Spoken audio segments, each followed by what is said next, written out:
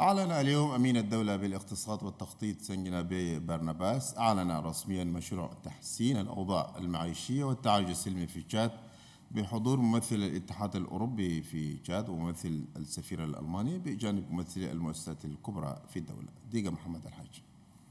في إطار تحسين الأوضاع المعيشية للسكان والتعايش السلمي فيما بينهم. جاءت هذه الانطلاقة الرسمية لمشروع تقوية الكفاءات لتحسين الحياة المعيشية والتعايش السلمي في تشاد بريسب الذي أسس من قبل منظمة الألمانية للتعاون الدولي جيز العاملة في مجال تنمية الاقتصاد في تشاد. ممثل سفيرة ألمانيا في تشاد وضح في كلمته بأن المشروع يعمل دوما لمساندة الطبقات الضعيفة وكذلك دعم برنامج الأمن الغذائي والبوليس والتعايش السلمي ومضيفا بأن علاقة البلدين هي علاقة غض كما أضاف أمين الدولة لوزارة الاقتصاد والتخطيط التنموي في كلمته الافتتاحية بأن تشاد دولة ساحلية معرضة للتغيير المناخي مما يجعل الحكومة التشادية تهتم بمثل هذه المشاريع التنموية وتعمل على تنفيذها عبر وزارة الاقتصاد. أما تحسين الحياة المعيشية لكل الأفراد والتعايش التعايش السلمي هي الرؤية المستقبلية للحكومة التشادية. وفي نهاية الحفل تم عرض فيلم وثائقي يفسر نشاطات المشروع وأهدافه وإنجازاته في بعض أقاليم البلاد.